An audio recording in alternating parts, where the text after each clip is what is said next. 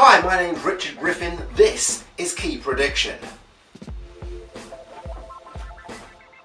You show your spectators a key fob and tell them you have a prediction printed on the other side, but you don't want to show them just yet, so you place it face down in front of them.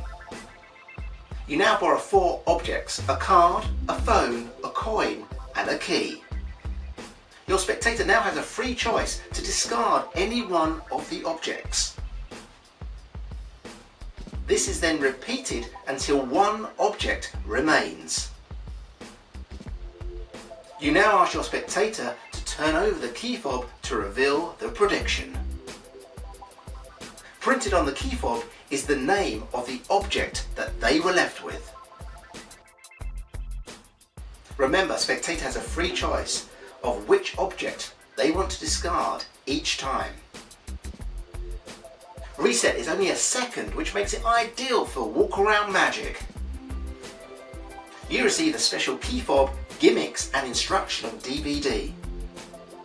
You also receive gimmicks to enable you to predict an ESP symbol that your spectator was thinking of. You also receive blank gimmicks so you can customize the trick to predict anything that you want to.